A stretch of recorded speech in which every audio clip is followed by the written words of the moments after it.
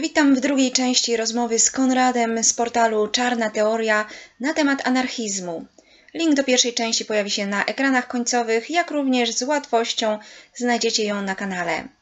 Przypomnę, że pierwotnym powodem tej dyskusji było zapytanie jednej z naszych koleżanek, Lenki z kanału Vegan Gym Girl, czy to jest ok, że znany anarchista Alfredo Cospito zaakceptował i spożył produkt ucisku i eksploatacji zwierząt a następnie zaatakowanie filozofii weganizmu przez osoby przedstawiające się jako anarchistyczne. Uprzedzam, że jakość dźwięku nie jest najlepsza, odradzam słuchanie na słuchawkach. Zapraszam do wysłuchania ciągu dalszego rozmowy. Powtórzę jeszcze raz, Alfredo Cospito nie jest Bogiem, Alfredo Cospito jest człowiekiem. E, to, że zjadł jogurt y, nie jest ani rzeczą e, E, którą można w środowisku anarchistycznym w dyskursie pominąć i trzeba o tym mówić. Myślę, że sam Alfredo by się z tym zgodził tak naprawdę i z chęcią by podjął dialog, dyskusję na ten temat, o ile wrócą mu siły i będzie mógł się do tego odnieść. E, nie potrzebuje obrońców. E, my też nie potrzebujemy ok anarchiści, obrońców, których wychodzą jakieś przemocowe zachowania i jakieś prawicowe kalki. Anarchizm broni się sam. Nie każdy anarchista jest weganinem, ale każdy anarchista powinien być weganinem. To ja mam jeszcze pytanie. Dlaczego w takim razie, skoro no, jest tak y, najwyraźniej dużo zbieżności między nami, dlaczego nie współpracujemy? Dlaczego nie ma tych kontaktów między nami? Czy jesteście w ogóle liczną grupą? Bo ja nie mam pojęcia. Czy jest was dużo w Polsce? Dlaczego w jakiś sposób nie połączymy sił? Czy, czy wy w ogóle e, przychodzicie na jakieś protesty, na marsze wegańskie, czy, czy się trzymacie z dala od ruchu wegańskiego? Macie swoją społeczność, jesteście zamknięci w swojej znaczy, społeczności? Tak, na pewno wiele osób wspiera na pewno tego typu marsze, choćby ten w Warszawie wiem, że jest taki. Widziałem wielu moich znajomych tam właśnie się pojawia. Oprócz tego no, anarchiści są zajęci swoimi rzeczami. E, mamy teraz kryzys, e, tak zwany kryzys uchodźczy na granicy z Białorusią. Mamy teraz e, wiele innych spraw, więc jakby no, też nie jest nas na tyle dużo, żebyśmy e, mogli brać udział we wszystkim. Oprócz tego też e, są kwestie ekologiczne, na przykład związane z węglem, z wydobyciem węgla zniszczeniem lasów i anarchiści też się w tym mocno udzielają. Nie możemy być wszędzie.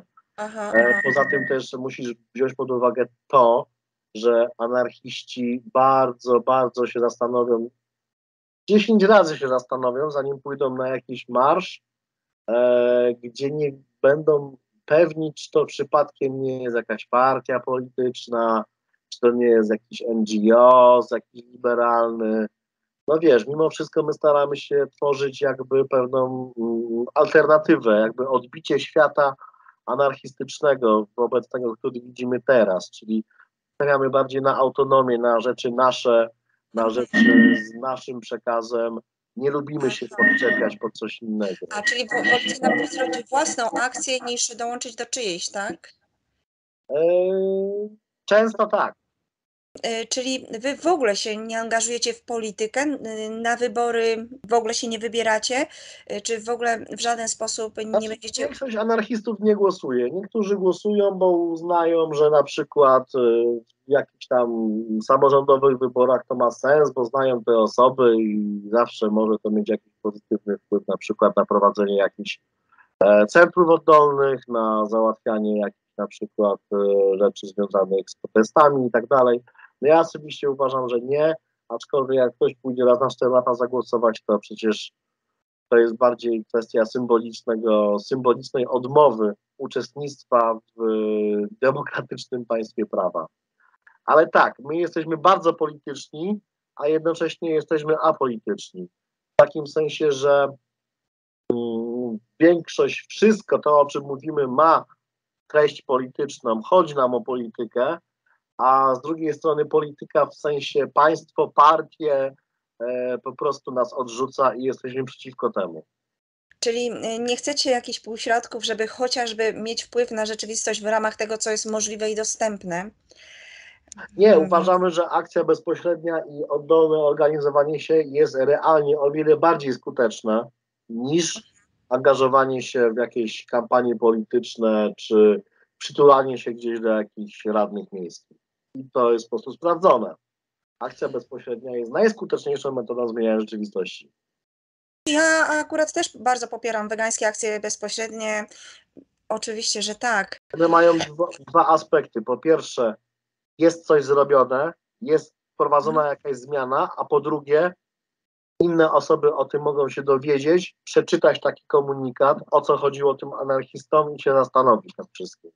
Y, Wiesz co, ja nie rozumiem tylko jednego, bo y, gdybym ja miała ograniczone, znaczy ja mam bardzo ograniczone y, zasoby i możliwości, gdybym nawet miała inne możliwości niż te, jakie mam w tej chwili, zawsze bym się zastanawiała nad tym, co ma największy sens, największą skuteczność. I ja bym, jeżeli już gdybym miała gdziekolwiek, kiedykolwiek uderzać, to zawsze w osoby decyzyjne. I szczerze powiedziawszy, jak troszeczkę czytam o Was, y, nie rozumiem, dlaczego akurat Wy uderzacie. Słyszałam, czytałam, że wozy policyjne, że w policję uderzacie. Nie No, rozumiem tego, bo policja o niczym nie decyduje. To nie są osoby Tak. decyzyjne.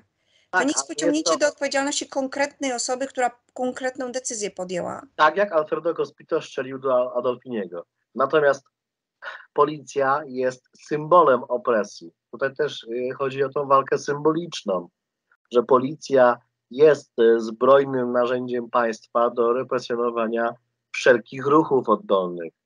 My, my to widzimy w ten sposób, więc spalony radiowóz rozpala również wyobraźnię do działania. A te akcje nie muszą być skuteczne, one nie muszą znaczy powinny być skuteczne. Akcje insurekcyjne powinny być wymierzalne konkretnie w pieniądzach, w tym jak duże straty na przykład w fabryce broni zadaliśmy, Mhm. albo Mhm. jak duże straty w milionach euro zadaliśmy firmie Mhm. rzeźniczej. Ale też mogą to być akcje symboliczne. Można powiesić plakat i można coś napisać na ścianie, do tego jakiś komunikat wydać po to, żeby rozpalić wyobraźnię innych. I też można spalić radiowóz i do tego napisać komunikat odnośnie danej sprawy, która dla osób, które się do tego dopuściły, jest ważna. Czyli z założenia macie też takie myślenie, że jednak powinniście celować w osoby decyzyjne, tak? I, Znaczy- aha, i w straty, w straty. Znaczy, ja mówię teraz o anarchizmie insurekcyjnym, o którym ja piszę, tak? Mhm. E, to Tak. nie jest tak, że każdy anarchista to jest ktoś z bombą za rogiem, kto czeka, żeby tam komuś zrobić krzywdę albo wysadzić, nie wiem, e, jakąś firmę. To są rzeczy, o których ja piszę, bo uważam, że są ciekawe. Natomiast w Polsce to wygląda troszeczkę inaczej. Musisz też wiedzieć, że anarchiści na co dzień zajmują się zupełnie innymi rzeczami. I na przykład jeśli chodzi o weganizm, jest dużo ekip Food Not Bombs, które w proteście przeciwko wydatkom państwa na zbrojenia i na na przykład na inwigilację za własne pieniądze i we własnym czasie wydają wegańskie jedzenie osobom w potrzebie. Więc można też w ten sposób Tak, działać. wiem, spotkałam się z nimi. Akurat z nimi się spotkałam, tak, tak. To o czym wiesz, to o czym ja mówię, ja na co dzień jestem anarchistą zupełnie standardowym, typowym, tak? Robimy food not bombs, robimy pikiety, organizujemy jakieś, e, jakieś e, projekcje filmów i tak dalej. A to, że ja piszę o insurekcjonizmie, tłumaczę komunikaty, to jest inna sprawa zupełnie. Natomiast to wszystko polega na tak naprawdę te insurekcyjne akcje, w tym też Taco Spito, polegają na pewnego rodzaju konspiracji i anonimowości. Mhm, mhm. To jest jakby inne podejście. No, nie sposób w krótki czas streścić całego anarchizmu i tego, co różni anarchiści chcą robić, ale jest to całkiem spory wachlarz metod, działań, ale też podejść. Dla niektórych ważnie będzie na przykład aspekt antymilitarny, dla niektórych wegański, dla niektórych feministyczny, dla innych antykapitalistyczny czy antyfaszystowski. To wszystko się ze sobą zazębia, ale podstawą jest to, że jedno nie rządzi drugim. Nie wiem, czy jeszcze mogę dopytać Ciebie, y, dlaczego akurat y, kapitalizm uważacie za takie zło? Mieliśmy wcześniej inny system, y, inny ustrój, No nie, nie, chyba nie. też nie było lepiej, prawda? To, co było przed 89 rokiem, Każdy politolog ci to powie, jak nie będzie kłamał do TVP, że był to po prostu kapitalizm państwowy. On się nazywał socjalizm. W, nazw, w nazwie miał socjalizm, ale polegał na tym, że państwo i jego aparat w postaci osób i instytucji zarządza kapitałem wszystkich. Kapitalizm ten, który mamy teraz, a nie ten, który był poprzednio, działa na podobnej zasadzie. Chodzi o to w dużym skrócie. Aha, że ktoś przejął tak jakby zarządzanie, zarząd. Tak, tak, tak. To nie był komunizm, to nie był socjalizm, to był kapitalizm państwowy. On miał w nazwie socjalizm, stosował symbolikę komunistyczną. Musisz też wiedzieć, że anarchizm się sprzeciwia takiemu autorytarnemu komunizmowi państwowemu. To nie jest tak, że to jest tożsame komunizm i anarchizm. O nie, nie, nie. W każdym bądź razie kapitalizm jest to system społeczny, który polega na tym, że e, na przykład 90% zasobów e, jest w, w rękach 10% ludzi na świecie. I w przełożeniu na weganizm e, możemy sobie pomyśleć, że weź sobie wszystkie koncerny mięsne teraz, tak, w Polsce. Jaki oni posiadają kapitał, w ilu rękach on jest i jak mało osób z tego korzysta, bo pani, która stoi za ladą w sklepie na przykład jakiegoś Kamińskiego czy Tarczyńskiego, ona nie korzysta z tego, że pan prezes zarobił kilka milionów. Ona dostaje najniższą krajową, ciacha to mięso, prawda, tasakiem i podaje, po, podaje klientom jakąś tam kiełbasę czy inne jakieś tam rzeczy. Natomiast pan prezes to, co ta pani za ladą wypracuje, to, co wypracują inni, mordując te zwierzęta, on to gromadzi dla siebie. Daje jakby jakiś tam mm, większą część swoim dyrektorom, menadżerom, troszkę więcej niż tym paniom na ladzie, po to, żeby ci menadżerzy zarządzali tymi paniami na ladzie. Więc widzisz, tu się tworzy taka struktura hierarchiczna, że powiedzmy 2000 osób zatrudnionych w jakiejś firmie przetwórskiej wytwarza temu panu prezesowi obrót kilku milionów rocznie, a on nie dość, że jeszcze ma na pewno jakieś preferencyjne stawki podatkowe od gminy, już w ogóle nie mówiąc o tym, że on tam masowo morduje zwierzęta, to on z tych kilku, kilku kilkudziesięciu milionów tym paniom, co stoją na ladzie, tak, w tym sklepie, albo tym paniom, co w tej fabryce te kurczaki obdzierają z piór i pakują do pudełek, on płaci głodowe stawki, tyle ile musi. Znaczy jest, wiem, że przemysł mięsa jest, jest w ogóle bogatszy od zbrojeniowego. Każdy przemysł tak działa i to jest właśnie ta perspektywa antykapitalistyczna. Kapitalizm jest najbardziej jaskrawym przykładem hierarchii i dominacji jednych nad drugimi. Mhm. Czyli docelowo do czego wy dążycie? Jakby, miał, jakby miał wyglądać świat anarchistyczny? Ja się tym nie zajmuję. Nie zajmuję się tym, jak ma to wyglądać. Ja się zajmuję tym, jak robić to teraz. Aha. Aha. To są na pewno inni mądrale, którzy z chęcią ci opowiedzą o tym, jakie mają oni wizje. Pamiętaj, że też e, czarna teoria jest to portal nihilistyczny. Nihilizm to jest taki trend anarchizmu, który jasno stwierdza, że e, takiej rewolucji światowej to nie oszukujmy się, ale nie będzie. Trzeba tworzyć tutaj, teraz anarchię żyjące, autonomiczne przestrzenie lub dokonywać akcji bezpośrednich, kiedy tak naprawdę jednostka może poczuć tą wolność podczas czynienia tej akcji. To jest perspektywa insurekcyjna i nihilistyczna.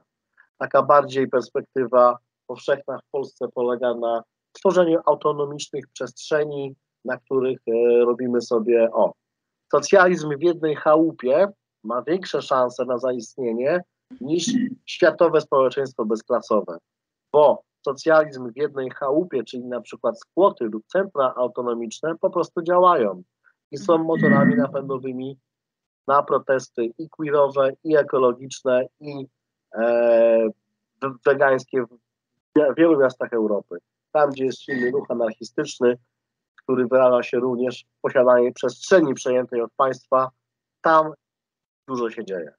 Czyli tworzycie tak jakby mikrokomuny, mikro... Nie wiem, czy, czy mógłbyś e, skomentować e, to, co wyczytam na, twojej, na Twoim portalu na temat właśnie przejęcia terytorium, czyli Ty mówisz o takich mikroterytoriach, tak? Bo ja być może niesłusznie sobie wyobraziłam, że w ogóle chcecie wydrzeć jakieś e, większe terytorium i utworzyć coś w No, ale- rodzaju państwa anarchistycznego. Nie, nie chcemy. Znaczy niektórzy będą tutaj mówić, że to się nazywa jakiś tam bukcinizm czy, czy coś i, i będą podawać przykłady na przykład stanu Chiapas w Meksyku, czyli zapatystów, będą podawać przykłady Rożawy w północnej Syrii, ale e, no nie, nie. Państwo anarchistyczne to oksymoron, tak? Czyli Wam chodzi o, o właśnie to, to, co powiedziałeś, o tworzenie takich mikrowspólnot lokalnych. Tak. Po prostu Wy nie chcecie wykupywać terenu, żeby faktycznie mieć swój teren, tylko wydzierać ten teren, odbierać. I na- jest bardzo ciekawa perspektywa anarchizmu rdzennego, czyli chodzi o anarchizm w Ameryce. Zupełnie inna ciekawa perspektywa, właśnie dotycząca ziemi, tego jak kolonizatorzy biali tę ziemię im zabrali. Ale to już jest jakby roz... temat na zupełnie inną rozmowę.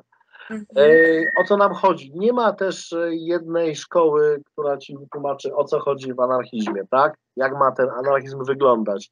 Bo widzę, że ciągle ciążysz ku temu, żebym powiedział ci, jak to ma wyglądać. No, tym się akurat nie zajmuję. Zajmuję się czymś innym. Wiesz co, najważniejsze jest to, że e, rozwiałeś nasze wątpliwości, te podstawowe. Mhm. Widzę, że prędzej jest nam po drodze, niż, e, niż e, powinniśmy w ogóle ze sobą walczyć. No, że popieracie weganizm, tak? E, No tak?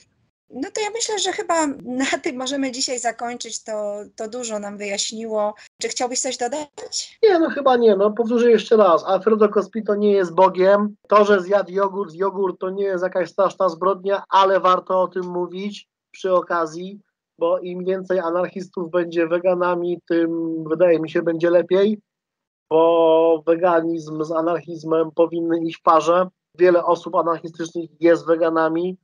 Nie podobała mi się ta prawicowa kalka, która wyszła z tych osób yy, po tej aferze jogurtowej. E, powtórzę jeszcze raz. Alfredo Cospito nie jest Bogiem. Jest zwykłym człowiekiem. Ja w takim razie dziękuję Ci bardzo za rozmowę, a Wam dziękuję za uwagę.